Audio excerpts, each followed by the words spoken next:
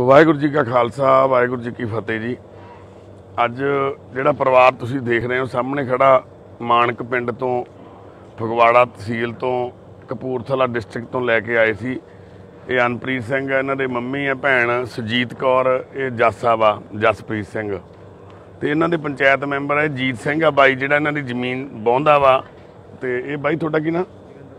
ਤੁਸੀਂ ਮੈਂ, ਪੰਚ ਤੁਹਾਡਾ ਕੀ ਨਾਂ ਵੀਰ ਜੀ? ਅਵਤਾਰ ਸਿੰਘ ਤੁਸੀਂ ਪੰਚ ਹੋ ਨਾ ਬਾਈ ਜੀ? ਸੁਖਨਿੰਦਰ ਸਿੰਘ ਸੁਖਨਿੰਦਰ ਸਿੰਘ ਪੰਚ ਇਹ ਤਿੰਨੋਂ ਪੰਚਾਇਤ ਮੈਂਬਰ ਨੇ ਵੀਰੇ ਹੋਣੀ। ਅੱਜ ਇਹਨਾਂ ਦੇ ਪਿੰਡੋਂ ਹੀ ਆਏ ਸੀ ਨਗਰ ਤੋਂ ਹੀ। ਕਿਉਂਕਿ ਦੋ ਦਿਨਾਂ ਤੋਂ ਥੋੜਾ ਜਿਹਾ ਯਾਨੀ ਕਿ ਇਹਨਾਂ ਨੂੰ ਵੀ ਇਦਾਂ ਅਚਵੀ ਜੀ ਲੱਗੀ ਪਈ ਸੀ ਵੀ ਅਸੀਂ ਜਾਣਾ ਜਾਣਾ। ਭੈਣ ਨੂੰ ਬਹੁਤ ਜ਼ਿਆਦਾ ਸੀਗੀ ਸਮੱਸਿਆ। ਕਿਉਂਕਿ ਹੁਣ ਭੈਣ ਦੀ ਦਵਾਈ ਚੱਲਦੀ ਆ ਦਵਾਈ ਵੀ ਬਹੁਤ ਘੱਟ ਆ। ਯਾਨੀ ਕਿ ਆਪਣੇ ਆਪ ਨੂੰ ਕੰਟਰੋਲ ਕਰ ਲਿਆ ਇਹਨਾਂ ਨੇ ਵੀ ਅਸੀਂ ਹੁਣ ਨਸ਼ਾ ਛੱਡਣਾ ਵਾ। ਤੇ ਅੱਜ ਭੈਣ ਆਪਣੇ ਘਰ ਚੱਲੀ ਆ। ਭੈਣ ਆਪਣੇ ਮੰਮੀ ਕੋਲੇ ਫਗਵਾੜੇ ਜਾਣਾ ਹਨਾ? ਇਹਨਾਂ ਨੇ ਆਪਣੀ ਮੰਮੀ ਦੇ ਕੋਲੇ ਜਾਣਾ ਵਾ ਫਗਵਾੜੇ ਤੇ ਉੱਥੇ ਜਾ ਕੇ ਭੈਣ ਕਹਿੰਦੇ ਮੈਂ ਆਪਣੀ ਦਵਾਈ ਖਾਊਂਗੀ। ਦਵਾਈ ਮਿਲ ਗਈ ਤੁਹਾਨੂੰ? ਦਵਾਈ ਕਿੰਨੇ ਦਿਨ ਦੀ ਦਿੱਤੀ ਆਪਾਂ? 10 ਦਿਨ ਦੀ ਦਵਾਈ ਦਿੱਤੀ ਆ ਅਸੀਂ। ਅੱਗੋਂ ਵੀ ਇਹਨਾਂ ਦੀ ਦਵਾਈ ਕੰਟੀਨਿਊ ਰਹੂਗੀ ਵਾਹਿਗੁਰੂ ਮਿਹਰ ਕਰਨ। ਤੇ ਇਹ ਦੋਨੋਂ ਜੱਸਾ ਤੇ ਅਨਪ੍ਰੀਤ ਇੱਥੇ ਸਾਡੇ ਕੋਲੇ ਨੇ। ਸਾਡੀ ਕੋਸ਼ਿਸ਼ ਹੈ ਕਿ ਸੱਚੇ ਮਨੋਂ ਅਸੀਂ ਇੱਕ ਕੋਸ਼ਿਸ਼ ਕਰਨਾ ਚਾਹੁੰਦੇ ਸੀ ਵੀ ਘੱਟੋ ਘੱਟ ਜੇ ਸਾਨੂੰ ਪ੍ਰਮਾਤਮਾ ਨੇ ਪਤਾ ਨਹੀਂ ਚਾਹੇ ਉਹ ਪਿੰਡ ਵਾਲਿਆਂ ਨੇ ਗਲਤ ਗਾਈਡ ਕੀਤਾ ਉਸ ਟਾਈਮ ਵੀ ਇਹ ਭੈਣ ਨੂੰ ਵੀ ਇਹ ਤਾਂ ਮਰਨ ਵਾਲੀ ਹੋਈ ਆ, ਅੰਦਰ ਪਈ ਆ, ਵੀ ਇਹ ਚੱਲ ਫਿਰ ਨਹੀਂ ਸਕਦੀ, ਇਹਨੂੰ ਫੜ ਕੇ ਦੋ ਬੰਦੇ ਬੈਂਕ 'ਚ ਲੈ ਕੇ ਆਏ ਤੇ ਇਹਦੀ ਹਾਲਤ ਬਹੁਤ ਮਾੜੀ ਆ, ਵੀ ਇਹ ਐਚਆਈਵੀ ਪੋਜ਼ਿਟਿਵ ਆ, ਪਰ ਹਾਲਾਂਕਿ ਕੋਈ ਰਿਪੋਰਟ ਦੇ ਵਿੱਚ ਇਹਨਾਂ ਦੇ ਪੋਜ਼ਿਟਿਵ ਨਹੀਂ ਆਈ, ਨਾ ਐਚਆਈਵੀ ਨਾ ਕੋਈ ਹੋਰ ਐਚਸੀਵੀ ਵੀ ਹੈ ਨਹੀਂ ਐਚਆਈਵੀ ਤਾਂ ਕੀ ਹੋਣਾ, ਕਾਲਾ ਪੀਲੀਆ ਵੀ ਨਹੀਂ ਹੈਗਾ ਇਹਨਾਂ ਨੂੰ, ਪਰ ਕੱਲਾ ਪੀਲੀਆ ਨਾਰਮਲ ਐਚਬੀਸੀ ਆ। ਉਹ ਵੀ ਇਹਨੂੰ, ਅਨਪ੍ਰੀਤ ਨੂੰ ਤੇ ਇਹਦੇ ਮੰਮੀ ਨੂੰ ਆ, ਜੱਸੇ ਨੂੰ ਕੋਈ ਨਹੀਂ ਹੈਗਾ। ਉਹ ਵੀ ਨਾਰਮਲ ਅੱਜ ਕੱਲ ਬਹੁਤ ਸਾਰੇ ਲੋਕਾਂ ਨੂੰ ਹੋ ਜਾਂਦਾ। ਪਰ ਸਾਡੇ ਸ਼ਹਿਰ ਕਰਮਾਂ ਦੇ ਵਿੱਚ ਇਸ ਪਰਿਵਾਰ ਨਾਲ ਕੋਈ ਰਿਸ਼ਤਾ ਸੀ ਜਿਹੜਾ ਸਾਨੂੰ ਚਲੋ ਉਸ ਬਹਾਨੇ ਉੱਥੇ ਗਏ। ਜਦੋਂ ਅਸੀਂ ਘਰੇ ਗਏ ਸੀ, ਪਿੰਡ ਦੇ ਵਿੱਚ ਅਸੀਂ ਬਾਈ ਉਹਨਾਂ ਦੇ ਘਰੇ ਖੜੇ ਸੀ, ਕਿਸੇ ਦੇ ਬੈਠੇ ਸੀ, ਤੁਹਾਡੇ ਘਰੇ ਬੈਠੇ ਸੀ ਬਾਈ ਹਨਾ? ਹਾਂ, ਇਹਨਾਂ ਦੇ ਬਾਈ ਉਹਨਾਂ ਦੇ ਘਰੇ ਬੈਠੇ ਸੀ। ਉੱਥੇ ਸਾਰਾ ਪਿੰਡ ਦੀ ਪੰਚਾਇਤ ਇਕੱਠੀ ਹੋਈ ਸੀ, ਹੋਰ ਲੋਕ ਉਹਨਾਂ ਨੇ ਕਿਹਾ ਵੀ ਮੁੰਡੇ ਤਾਂ ਘਰੇ ਹੈ ਨਹੀਂ, ਵੀ ਬਾਹਰੋਂ ਜਿੰਦਾ ਲੱਗਿਆ ਹੋਇਆ ਵੀ ਜਿਹੜੀ ਭੈਣ ਆ ਉਹ ਅੰਦਰ ਪਈ ਆ, ਵੀ ਉਹਦੀ ਹਾਲਤ ਬਹੁਤ ਮਾੜੀ, ਉਹ ਤੋਂ ਤੁਰ ਨਹੀਂ ਹੋ ਰਿਹਾ। ਕੋਈ ਕੁਛ ਕਹਿ ਰਿਹਾ ਸੀ, ਕੋਈ ਕੁਛ ਕਹਿ ਰਿਹਾ ਸੀ। ਆਪਾਂ ਸੋਚਿਆ ਵੀ ਚਲੋ ਨਗਰ ਨੇ ਵੀ ਸਾਰਿਆਂ ਨੇ ਇਹੀ ਕਿਹਾ ਵੀ ਆਪਾਂ ਇੱਕ ਵਾਰੀ ਅੰਦਰ ਚੱਲ ਕੇ ਦੇਖੀਏ ਤਾਂ ਸਹੀ ਵੀ ਕੀ ਹਾਲਤ ਆ। ਤੇ ਜਦੋਂ ਅਸੀਂ ਅੰਦਰ ਗਏ, ਉਹ ਜਿੰਦਾ ਕੱਟ ਕੇ ਤਾਂ ਪੰਚਾਇਤ ਦੀ ਹਾਜ਼ਰੀ 'ਚ, ਸਰਪੰਚ ਸਾਹਿਬ ਦੀ ਹਾਜ਼ਰੀ 'ਚ ਤਾਂ ਅੰਦਰ ਭੈਣ ਸੀਗੇ। ਉਹ ਸਾਰਿਆਂ ਨੇ ਤੁਸੀਂ ਲਾਈਵ ਵੀ ਦੇਖਿਆ। ਵੀ ਕਿਹੜੇ ਹਾਲਾਤ ਦੇ ਵਿੱਚ ਸੀਗੇ ਭੈਣ, ਹਨਾ? ਉਸ ਤੋਂ ਬਾਅਦ, ਚਲੋ, ਇਹ ਪਿੰਡੋਂ ਬਾਹਰ ਖੜੇ ਸੀ, ਇਹਨਾਂ ਨੂੰ ਵੀ ਲੈ ਕੇ ਆਏ। ਇਹ ਵੀ ਬਹੁਤ ਅਗਰੈਸਿਵ ਸੀ, ਗੁੱਸੇ ਸੀਗੇ। ਪਰ ਕਿਸੇ ਤਰੀਕੇ ਅਸੀਂ ਮਨਾ- ਮਨਾਉਣ ਦੀ, ਵਡਿਆਉਣ ਦੀ ਬਹੁਤ ਕੋਸ਼ਿਸ਼ ਕੀਤੀ। ਫਿਰ ਚਲੋ, ਪੁਲਿਸ ਆ ਗਈ, ਉੱਥੇ ਪੁਲਿਸ ਨੂੰ ਵੀ ਕਾਲ ਕੀਤੀ ਗਈ। ਫਿਰ ਪੁਲਿਸ ਨੇ ਵੀ ਇਹਨਾਂ ਨੂੰ ਸਮਝਾਇਆ। ਸਮਝਾਉਣ ਤੋਂ ਬਾਅਦ ਫਿਰ ਸਾਡੇ ਨਾਲ ਆ ਗਏ ਉੱਥੋਂ। ਤੇ ਹੁਣ ਇਹ ਕਰੀਬ 20 22 ਦਿਨ ਹੋ ਗਏ ਇਹਨਾਂ ਨੂੰ ਇੱਥੇ ਸੁਪਨਿਆਂ ਦੇ ਘਰ 'ਚ ਰਹਿੰਦਿਆਂ ਨੂੰ। ਪਹਿਲਾਂ ਹਸਪਤਾਲ 'ਚ ਦਾਖਲ ਰਹੇ ਇਹ 12 15 12 ਕੁ ਦਿਨ।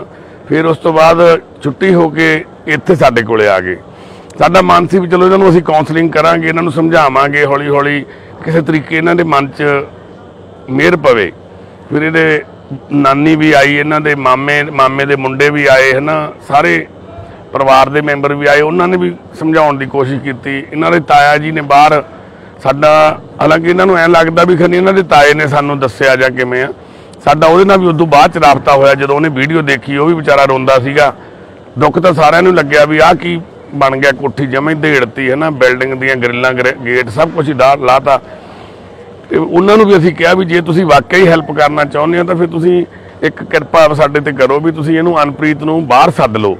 ਜੇ ਇਹਦੀ ਜ਼ਿੰਦਗੀ ਬਣਾਉਣੀ ਆ ਘੱਟੋ ਘੱਟ ਇਹਨੂੰ ਇੱਕ ਵਾਰੀ ਮੌਕਾ ਤਾਂ ਦਿਓ ਨਾ ਚਾਂਸ ਤਾਂ ਦਿਓ। ਜੇ ਇੱਥੇ ਹੀ ਮਾਹੌਲ 'ਚ ਇਸੇ 'ਚ ਹੀ ਰਹੂਗਾ, ਤਾਂ ਫਿਰ ਉਸੇ ਦਲਦਲ 'ਚ ਫਿਰ ਜਾ ਕੇ ਡਿੱਗ ਪਊਗਾ ਇਹ। ਤਾਂ ਹੁਣ ਉਹਦੇ ਇਹਦੇ ਯਾਨੀ ਕਿ ਗੱਲ ਹੋਈ ਹੈ ਇਹਦੇ ਚ ਆਇਆ ਵੀ ਨਾ ਵੀ ਇਹਨਾਂ ਦੀ ਪੰਚਾਇਤ ਦੀ ਵੀ ਹੋਈ ਹੈ ਤੁਹਾਡੇ ਨਾਲ ਵੀ ਹੈ ਨਾ? ਉਹਨਾਂ ਨੇ ਕੀ ਕਿਹਾ ਬਾਈ ਜੀ?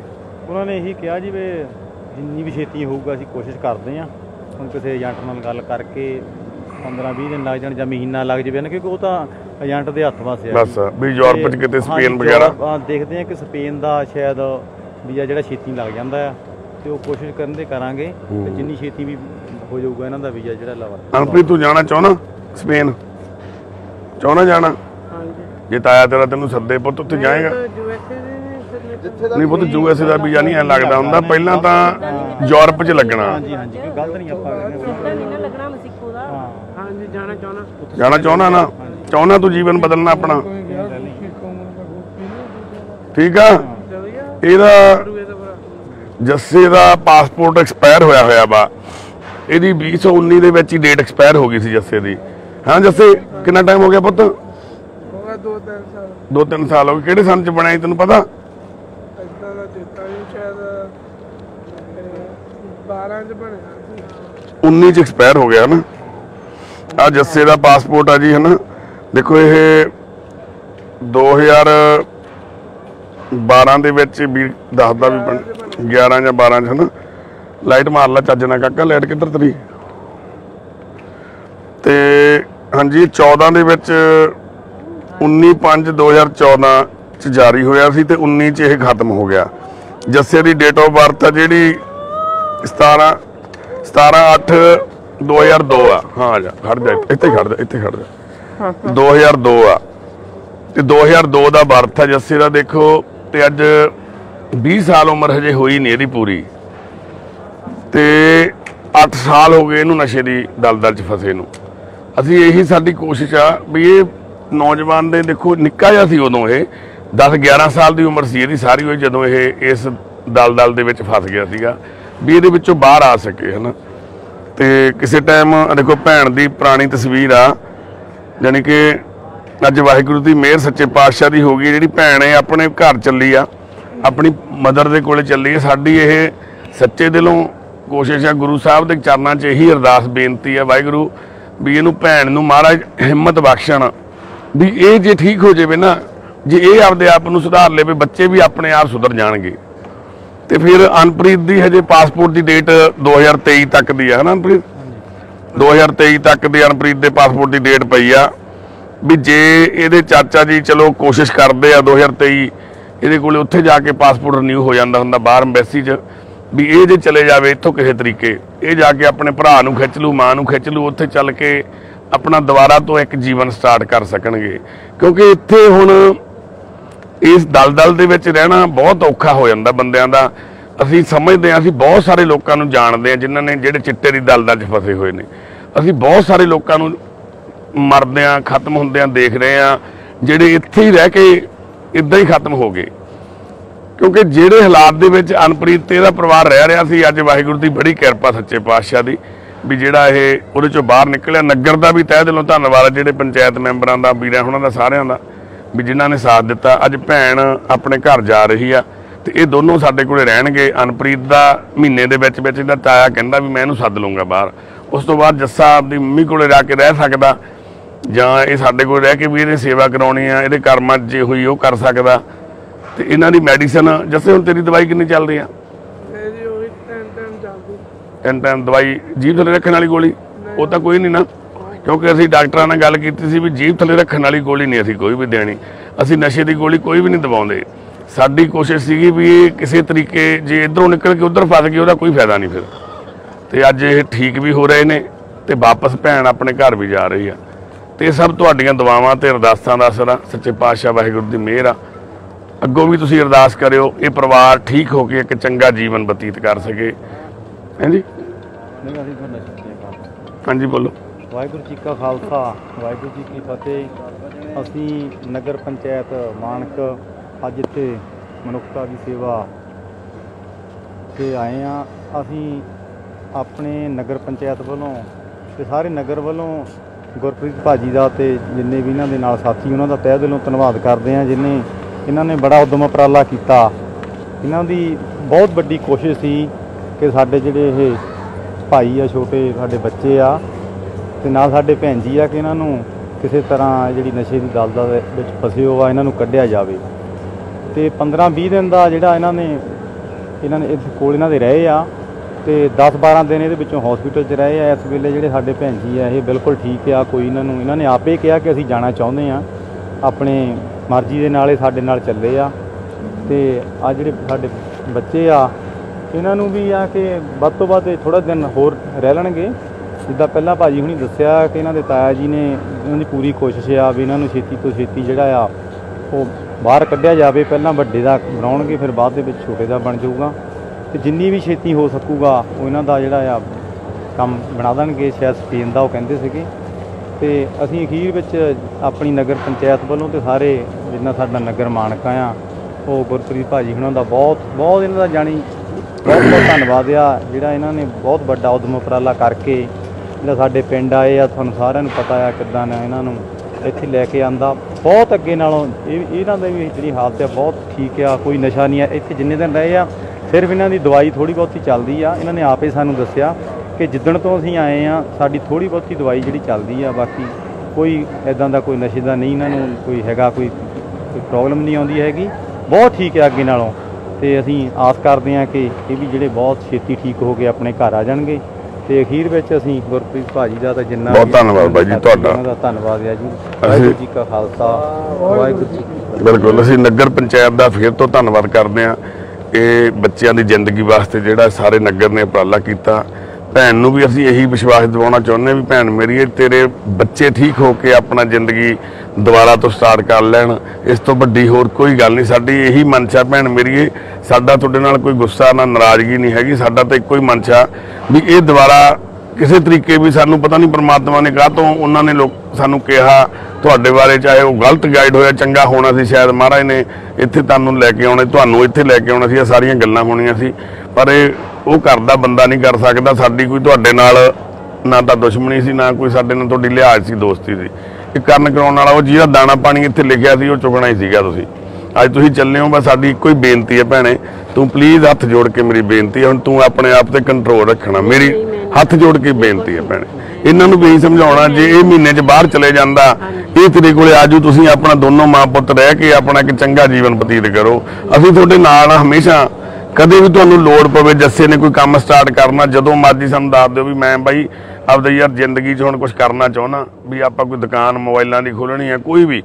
ਅਸੀਂ ਬੇਨਤੀ ਕਰਕੇ ਸੰਗਤ ਨੂੰ ਕਹਾਂਗੇ ਵੀ ਇਦਾਂ ਦੀ ਮਦਦ ਕੀਤੀ ਜਾਵੇ, ਉੱਥੇ ਗਾਹਕ ਵੀ ਇਹਨੂੰ ਆਪੇ ਮਿਲਣਗੇ ਇਦਾਂ ਦੇ, ਜਿਨ੍ਹਾਂ ਨੂੰ ਅਸੀਂ ਕਹਾਂਗੇ ਵੀ ਭਾਈ ਜੱਸੇ ਨੇ ਆ ਫਲਾਨੀ ਦੁਕਾਨ ਖੋਲੀ ਹੈ ਇਹ ਬੰਦਾ ਆਪਣੀ ਦੁਬਾਰਾ ਜ਼ਿੰਦਗੀ ਸਟਾਰਟ ਕਰਨ ਲੱਗਿਆ, ਉਹਦੀ ਮਦਦ ਕਰੋ ਉੱਥੇ, ਲੋਕ ਇਹ ਤੋਂ ਸਮਾਨ ਖਰੀਦਣੇ, ਕੋਈ ਵੀ ਚੀਜ਼ ਇਹ ਕਰਨੀ ਚਾਹੁੰਦਾ ਹੋਊਗਾ, ਉਹਦੇ 'ਚ ਵੀ ਅੱਗੋਂ ਸਾਥ ਦੇਵਾਂਗੇ ਅਸੀਂ।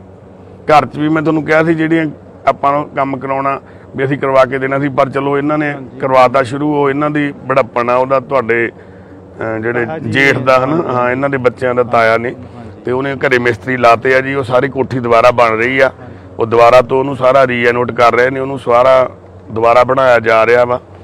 ਤੇ ਉਹ ਇੱਕ ਸਮਾਂ ਸੀ ਬਸ ਉਹ ਸਮਾਂ ਕਹਿੰਦੇ ਜਦੋਂ ਨਾ ਬੰਦੇ ਦਾ ਮਾੜਾ ਵਕਤ ਹੁੰਦਾ ਬੁੱਧੀ ਭ੍ਰਸ਼ਟ ਹੋ ਜਾਂਦੀ ਆ। ਪਰ ਜਦੋਂ ਚੰਗਾ ਵਕਤ ਹੁੰਦਾ ਤੇ ਰੱਬ ਦਾ ਪਤਾ ਨਹੀਂ ਲੱਗਦਾ ਕਿੱਧਰ ਦੀ ਆ ਕੇ ਆਪਣੀ ਬਾਹ ਫੜ ਲੈਂਦਾ। ਤੇ ਇਹ ਦੋਨੋਂ ਚੀਜ਼ਾਂ ਹੀ ਇਸ ਪਰਿਵਾਰ ਨਾਲ ਹੋਈਆਂ। ਮਾੜਾ ਵਕਤ ਸੀ ਉੱਥੇ ਜੋ ਇਹਨਾਂ ਦੇ ਹਾਲਾਤ ਬਣੇ ਚੰਗਾ ਵਕਤ ਅੱਜ ਦਾ ਵਾ ਜਿਹੜਾ ਇਹ ਦੁਬਾਰਾ ਤੋਂ ਜ਼ਿੰਦਗੀ ਸਟਾਰਟ ਕਰ ਰਹੇ ਨੇ। ਵਾਹਿਗੁਰੂ ਜੀ ਕਾ ਖਾਲਸਾ ਵਾਹਿਗੁਰੂ ਜੀ ਕੀ ਫਤਿਹ। ਬਹੁਤ ਧੰਨਵਾਦ ਜਿਉਂਦੀ ਵਸਦੀ ਰਹਿ ਭੈਣ ਮੇਰੀ ਇਹ ਮਹਾਰਾਜ ਤੇ ਸਭ ਤੋਂ ਕੋਈ ਗਲਤੀ ਹੋ ਗਈ ਹੋਵੇ ਉੱਚਾ ਕੋਈ ਲਫ਼ਜ਼ ਬੋਲਿਆ ਹੋਵੇ ਮਾਫੀ ਮੰਗਦਾ ਮੈਂ। ਨਹੀਂ ਭੈਣੇ। ਤੂੰ ਮੇਰੀ ਛੋਟੀ ਭੈਣ ਆ ਕੋਈ ਗੱਲ ਨਹੀਂ। ਮੈਨੂੰ ਜੇ ਤੂੰ ਕਹਿ ਵੀ ਦੇਵੇਂਗੀ ਸਾਡੀ ਸੁਣਨ ਦਾ ਹੱਕ ਬਣਦਾ ਕਿਉਂਕਿ ਤੁਸੀਂ ਇਸ ਟਾਈਮ ਸਹੀ ਤਰੀਕੇ ਨਾਲ ਸੋਚ ਨਹੀਂ ਸੀ ਪਾ ਰਹੇ। ਸਹੀ ਗਲਤ ਦਾ ਫੈਸਲਾ ਨਹੀਂ ਸੀ ਹੋ ਪਾ ਰਿਹਾ। ਇਹ ਪਾਸਪੋਰਟ ਇਹਨਾਂ ਨੂੰ ਦੇ ਦਈਏ ਫਿਰ ਸਾਰੇ। ਤੁਸੀਂ ਆਪੇ ਭੇਜ ਦੋਗੇ ਉਹਨਾਂ ਨੂੰ ਹਨਾ? ਆ ਆ ਫੜ ਲਓ। ਤਿੰਨੋਂ ਪਾਸਪੋਰਟ ਆ ਬਾਈ ਜੀ। ਆ। ਕੋਈ ਨਾ। ਉਹ ਨਵਾਂ ਨਿਊ ਹੋ ਜਾਊਗਾ ਪੁੱਤ। ਕਹਿਣਾ ਨਾਲ ਤਾਂ ਲੱਗਣਾ ਹੀ ਹੈ। ਨਿਊ ਕਰਾਉਣਾ ਹੋਊਗਾ ਜਦ ਤੱਕ ਆਉਂਗਾ ਜਦ ਫੇਕ ਕਰਾਣਾ ਨਿਊ ਜੇ ਉੱਤੇ ਬਣਦਾ ਹੋਇਆ ਤਾਂ ਉੱਤੇ ਬਣਾ ਲਾਂਗੇ ਤੇਰਾ ਪੁੱਤ ਰਿਨਿਊ ਹੋ ਜਾਊਗਾ ਜੇ ਅਪਲਾਈ ਕਰਨਾ ਹੋਇਆ ਭੈਣੇ ਤੁਸੀਂ ਆਪਣੇ ਮਦਰ ਨਾਲ ਜਾਂ ਕਿਸੇ ਨਾਲ ਆ ਜਿਓ ਇੱਥੇ। ਇਹਨੂੰ ਇੱਥੋਂ ਆਪਾਂ ਲੁਧਿਆਣੇ ਸਾਡੇ ਇੱਥੇ ਪਾਸਪੋਰਟ ਆਫਿਸ ਹੈਗਾ। ਇੱਥੇ ਆਪਾਂ ਰਿਨਿਊ ਕਰਾਉਣਾ ਦੇ ਆਵਾਂਗੇ। 15 20 ਦਿਨਾਂ ਦੇ ਵਿੱਚ ਰਿਨਿਊ ਹੋ ਜਾਊਗਾ। ਠੀਕ ਹੈ ਸਾਨੂੰ ਇੱਥੇ ਹੈਗੇ ਨੇ ਬੰਦੇ ਜਾਣਦੇ ਕੋਈ ਗੱਲ ਨਹੀਂ ਅਸੀਂ ਕਰਵਾ ਦਾਂਗੇ। ਠੀਕ ਹੈ ਜੀ। ਬਾਈ ਜੀ ਬਹੁਤ ਧੰਨਵਾਦ ਤੁਹਾਡਾ। ਤੁਸੀਂ ਆਏ ਅਸੀਂ ਤੁਹਾਨੂੰ ਕੱਲ ਫੋਨ ਕੀਤਾ। ਤੁਸੀਂ ਤੁਰੰਤ ਚਲੋ ਮੈਂ ਬਾਹਰ ਚਲੇ ਗਿਆ ਦੇਖ ਕੇ ਠੀਕ ਹੈ ਜੀ ਬਹੁਤ ਮੰਮੀ ਵੀ ਆ ਗਈ ਠੀਕ ਹੈ ਭਾਜੀ ਟੈਨਸ਼ਨ ਨਹੀਂ ਲੈਣਾ ਪੁੱਤ ਮੰਮੀ ਤੇਰੇ ਨਾਲ ਹੀ ਆ ਅਸੀਂ ਸਾਰੇ ਨਾਲ ਹੀ ਆ ਤੇਰੇ।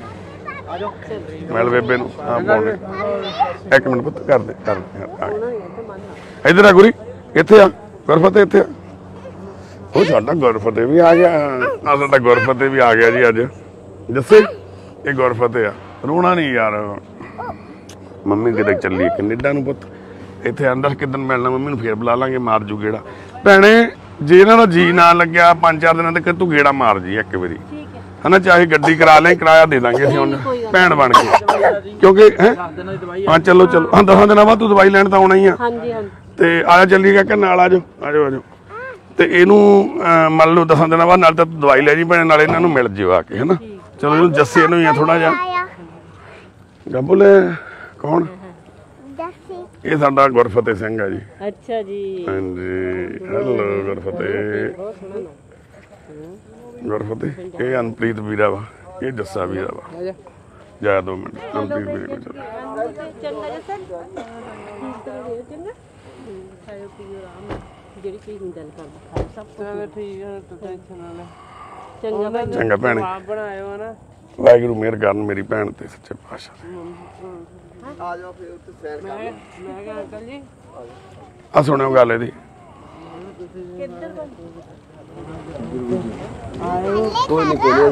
ਮਿਲ ਲੈਂਦਾ ਸੱਤ ਅੱਠ ਦਿਨਾਂ ਦੀ ਗੱਡੀ ਦੀ ਕੋ ਜਾ ਉੱਤੇ ਕੋਠੇ ਤੇ। ਉਹਨੂੰ ਸ਼ੀਰੋ ਨੂੰ ਛੱਡਣ ਗਏ ਸ਼ੀਰੋ ਨੂੰ। ਉਹਨੂੰ ਕਹਿ ਕੇ ਨਾ ਤਾਏ ਨੂੰ ਮੜਿਆ ਕਰਾਓ ਦੇਖੋ ਤੁਹਾਡੇ ਹੱਥ ਜਾ ਦੇਖੋ ਤੁਹਾਡੇ ਬਹੁਤ ਉਹ ਤਾਂ ਆਪ ਉਹ ਤਾਂ ਆਪ ਨਹੀਂ ਕਰ ਕਰਦਾ ਉਹ ਤਾਂ ਆਪ ਨਾ ਬਾਈ ਇਹ ਸੱਚ ਵੀ ਆ। ਬਿਲਕੁਲ, ਬਿਲਕੁਲ। ਇਹੀ ਹੱਲ ਆ। ਕੋਈ ਗੱਲ ਨਹੀਂ ਕੋਈ ਗੱਲ ਨਹੀਂ। ਠੀਕ ਆ ਬਾਈ। ਉੱਥੇ ਐਂਟਰੀ ਪਾਉਣੀ ਰੋਕ ਕੇ ਸਾਰਿਆਂ ਨੇ ਕਰਾਉਣੇ ਯਾਰ। ਆਓ ਤੇ ਐਂਟਰੀ ਪਵਾ ਦਿਓ।